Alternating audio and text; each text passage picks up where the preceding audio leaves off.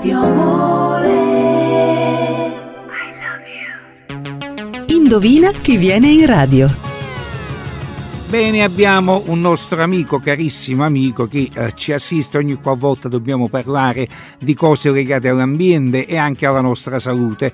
E diamo così il buongiorno e benvenuto, un ben ritornato qui a Radio Amore, al professor Gennaro D'Amato. Buongiorno, eh, buongiorno, buongiorno a voi. Ecco, noi l'abbiamo chiamata anche per un motivo importante. Lei ha il coraggio, è il caso di dire, di organizzare qui a Napoli, a dimostrazione che a Napoli si possono anche organizzare le cose belle, un congresso sulle malattie respiratori respiratori le strategie terapeutiche che si terrà giovedì 26 e venerdì 27 a Napoli presso l'Hotel Ramada di Napoli e eh, in effetti ha un suo nome eh, sempre e siamo arrivati alla diciannovesima edizione, il paziente respiratorio dalla clinica alle strategie terapeutiche. Ce ne parli un po' in più professore. Eh, io la ringrazio per darmi questa opportunità.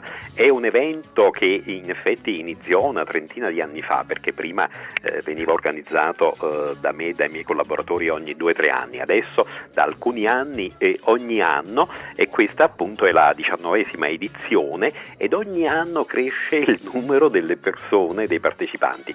Ovviamente è riservato a medici, specialisti in malattie respiratorie, in allergologia, in pediatria, anche eh, medici di medicina generale ed è un'occasione di aggiornamento che mi stimola eh, ogni anno a riorganizzarlo perché agli inizi dell'anno eh, è un'occasione anche di incontro di tanti specialisti e quindi anche di eh, si è ancora in tempo per farsi gli auguri del, del, per un ottimo anno nuovo, certo. ma soprattutto per un aggiornamento eh, con eh, i migliori specialisti eh, italiani e anche dell'estero. immagini che eh, un grande specialista, Marc Miraville, il professore Marc Miraville, mm, verrà appunto giovedì per una lezione sul trattamento ottimale delle patologie respiratorie ostruttive, quindi di asma, eh, di eh, enfisema e di broncopatia cronica ostruttiva, direttamente da Barcellona, viene a tenere la lettura e rientra su Madrid la sera.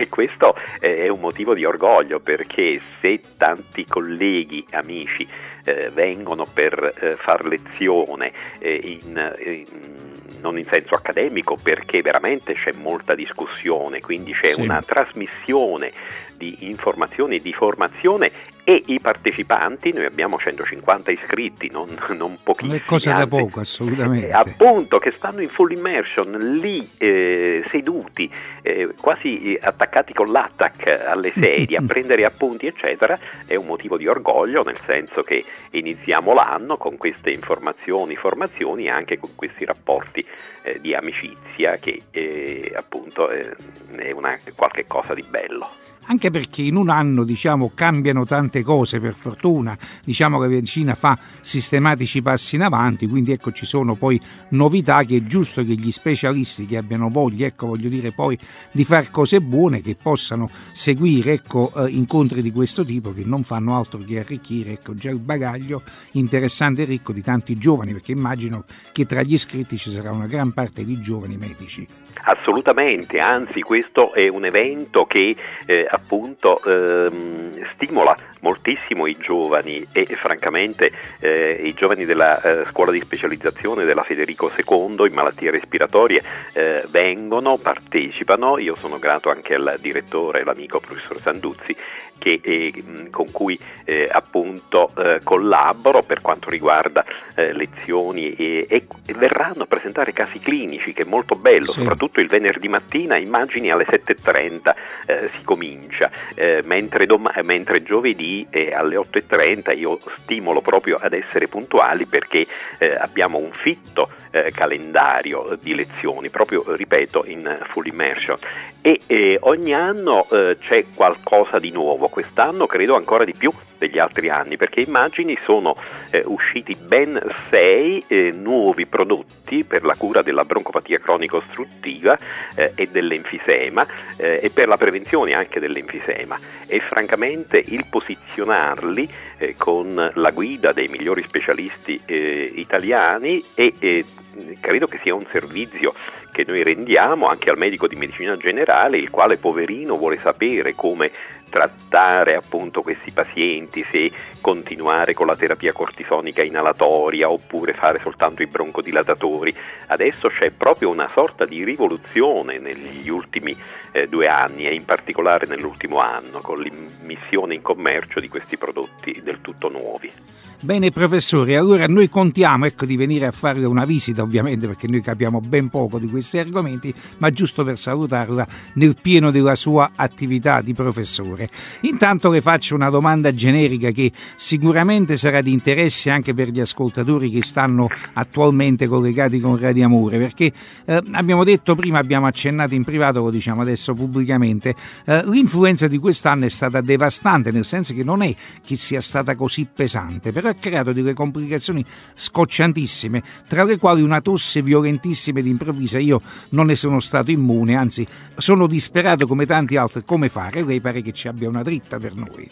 Eh, diciamo che eh, ogni anno eh, c'è qualche novità. Ehm, in, in, genere, eh, appunto, comunque le norme di prudenza che oltretutto inserisco anche nella pagina Facebook eh, Respiro Italia e nel blog respiroitalia.org eh, per dare proprio dei consigli, posso dire che effettivamente, come diceva lei, è stata devastante ed è tuttora abbastanza devastante con una febbre che a volte non passa se non dopo diversi giorni e il punto è usare o meno gli antibiotici, eccetera. Per questo rinvio eh, ai medici di medicina generale e agli specialisti per la verifica eh, appunto di queste, certo. eh, della necessità o meno della, eh, del corretto uso degli antibiotici. Una cosa è certa, che per fortuna, eh, anche se molto più scocciante, rispetto eh, all'anno scorso soprattutto e agli altri anni, sto vedendo, almeno nella mia ehm, diciamo, pratica privata, un numero eh, inferiore di polmoniti, di complicazioni. Eh, questo, questo eh, significa che eh, ci sarebbe meno necessità di andare al pronto soccorso, di ricoverarsi in ecco, ospedale. Ecco. E, però attenzione, quest'anno un po' di più che degli anni scorsi c'è una tosse che si complica con reflusso gastroesofageo e che questo amplifica appunto la sintomatologia. Anche se il paziente dice ma io non avverto in gola che mi sale eh, quello che ho mangiato, così come avviene nel reflusso gastroesofageo. Ebbene, questo non sempre avviene. Se avviene si avverte l'acidità anche a livello eh, appunto di bocca, eccetera, di, eh, di retrofaringe e allora a maggior ragione bisogna fare anche una protezione gastrica, eh, ma anche se non c'è, perché sappiamo che anche il reflusso che si ferma a livello dell'esofago può indurre eh, appunto l'insorgenza di broncospasmo e quindi di tosse, per cui al di là delle terapie broncodilatanti, anche cortisoniche, eventualmente anche antibiotici correttamente somministrati, c'è da dare anche consigliare appunto la sera quando si va a letto una protezione gastrica, evito di fare il nome commerciale anche se molto comune. Vabbè, facciamolo, non c'è problema. diciamo che ecco, tipo Gaviscon eh, è consigliabile eh, anche in associazione alle altre terapie, comunque sempre sotto un controllo specialistico. Ecco, ovviamente chiudiamo appunto questa telefonata dicendo che il fai da sé non va bene, specialmente in medicina, per cui voglio dire è chiaro che laddove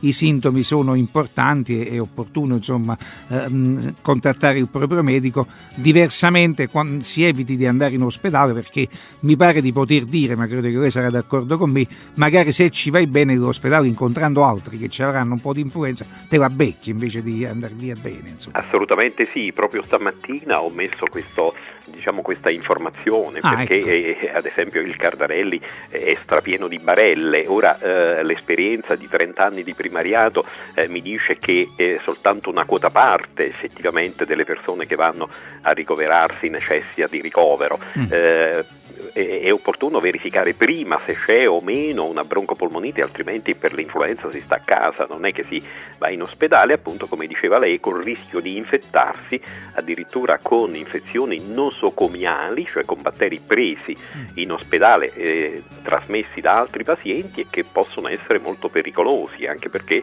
in genere sono anche antibiotico resistenti. Benissimo, professore, io la ringrazio della sua testimonianza come sempre preziosa, le auguro buon lavoro per questo congresso Il paziente respiratorio dalla clinica alle strategie terapeutiche, diciannovesima edizione, Hotel Ramada, Ramada chiedo scusa, 26 e 27 gennaio 2017. Grazie professore, alla prossima. E grazie a lei e vi aspetto volentieri. Senz'altro, grazie e un abbraccio anche da parte nostra. Grazie, arrivederci. Arrivederci, arrivederci. Indovina chi viene in radio.